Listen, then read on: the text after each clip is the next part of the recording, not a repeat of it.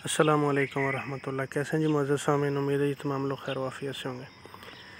ये एक बकरा है जी, ये कुर्बानी पे हमने पैसे बेचने की कोशिश की है, लेकिन इसका रेट को ज़्यादा नहीं लगा हमें। तो बाद में हमने कहा कि ये तो ब्रीडिंग के लिए भी इस्तेमाल हो सकता है, और हम इसको कर भी रहे थे। तो हमने कहा ये बाद में अच्छा बिक जाएगा। तो ये फ़ार सेल है जी। तो मैं इसके दांत वगैरह, इसकी डिटेल आपको बता दूँ, ये अभी दो दांत है जी, ये आप दांत चेक कर सकते हैं। ये दो दांत है। कोई ये हाई ब्रीड नहीं है कि इसको कहो कि आप ए प्लस ग्रेड है या थर्टी नाइन के करीब इसकी हाइट है जनाब।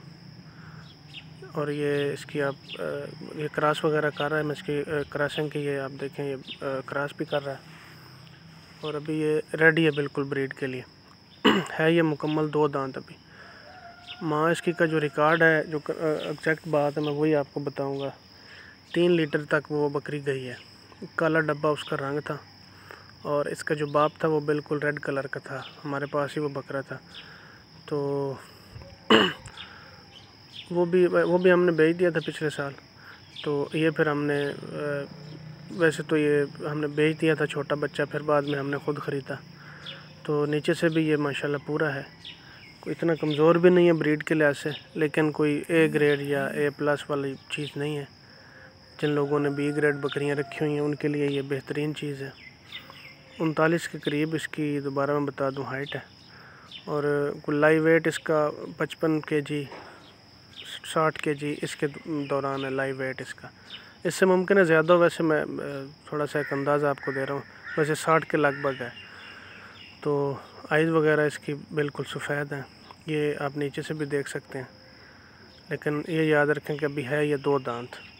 ग्रोथ अच्छी में है। सिर्फ़ इसमें जो थोड़ी सी कमी है, वो इसके कानों की है कि कान इसके जो हैं, वो थोड़े से छोटे हैं, जो रिक्वायर्ड स्टैंडर्ड है उससे। जो ए प्लस ग्रेड के या ए ग्रेड के जानवर होते हैं, बाकी सर वगैरह, नाक शाक इसका मज़बूत है अच्छा जानवर है। ये रंग भी आप इसका देख लें। सफ़ेद और लाल इसका कलर है। लेकिन हैरान कन चीज़ ये है कि माँ इसकी काली डब्बी है और इसका जो बाप है, वो सुर्ख कलर का है। लोहा कलर जिसको कहते हैं। नागरा भी, नागरे में वो आता है। तो लेकिन ये अंदर से ये पैदा हुआ है। इसके साथ इसकी एक फ़ीमेल बहन थी। वो पठ भी है। वो भी अभी हमारे पास ही है।